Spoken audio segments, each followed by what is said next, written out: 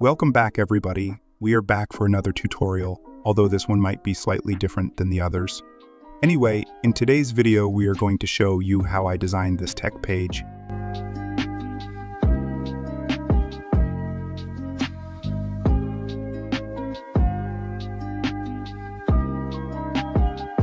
As you already know, we just start with a blank page with just a simple nav bar. Here you can see I've already prepared all the assets and I will leave it to you in the Figma file. So first I'll take the image and place it on the frame. Now create a rectangle about one third of the frame length. Fill it in black and change its fill from solid to gradient and do as I do.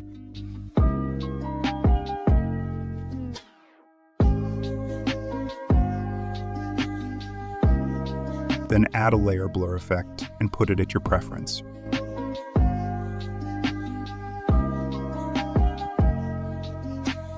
Write your first heading and create a rectangle over it. Place this rectangle over it and create a mask group.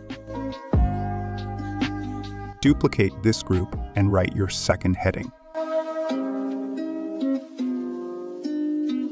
Place your button create a rectangle with its color and add a layer blur effect and increase it until you can see the text. Place it under it and group them. Let's work on the second page. Create a frame and put it in black. Duplicate the mask group and write your new text. Create a rectangle, round it, and use the color. Give it a gradient white stroke and add a drop shadow effect. You can copy my setting. I just duplicate them and arrange them as I like.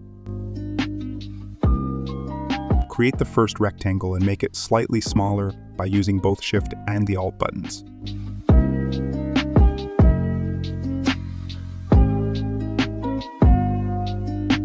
Place your image over it and hit the mask button. You do the exact thing for the second rectangle. For the fourth, I designed this group and I'm gonna just put it over this rectangle.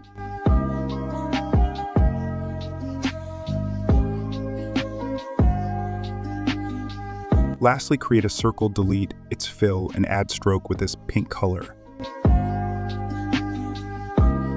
Duplicate it several times by making it bigger. And change the opacity of each by making them more transparent from the exterior to the interior.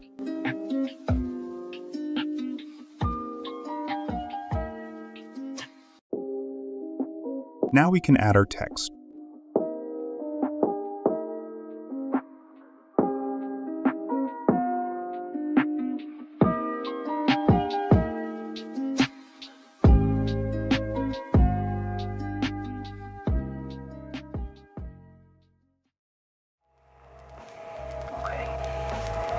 Create a third frame and copy again the mask group.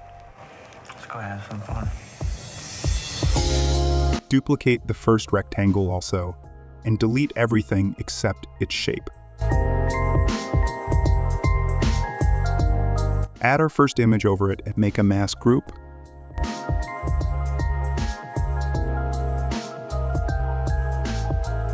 Create a rectangle and do the same thing you did in the first page to create that black gradient.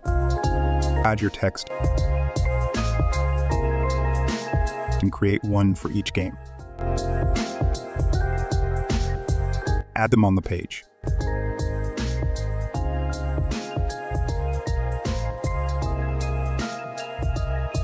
Copy the first page and change its text and add the two controllers in it.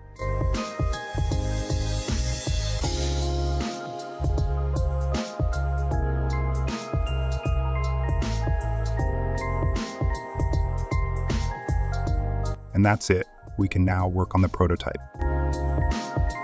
Now add each frame under each other by changing its y-axis value. For example, the second page will have IY axis of 1080 for mine. The third will have AY axis of 1080 times 2 and so on.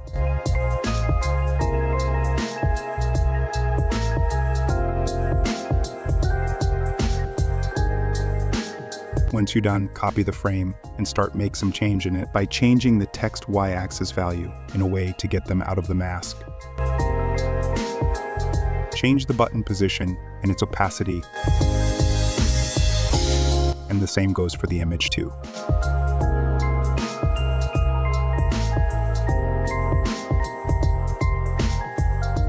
Make a copy and start by changing the second page of the second copy. It's important to make the copy before making the change.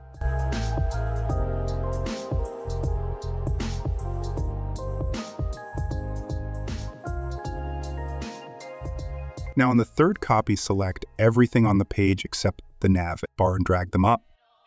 After that, drag the second page by changing its y-axis to zero and do a similar process for the other page. By that I mean you should reduce their y-axis value by 1080. Make a copy before, and now I think you understand. Make modification on the third page.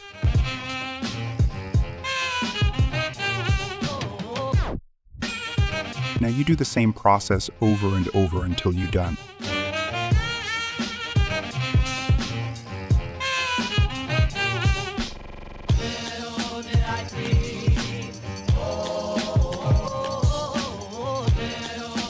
Now that everything is done, we can prototype.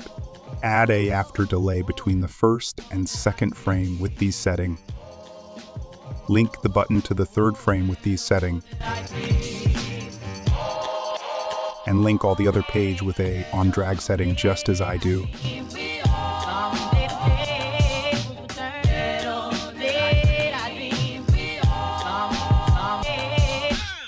And there you go.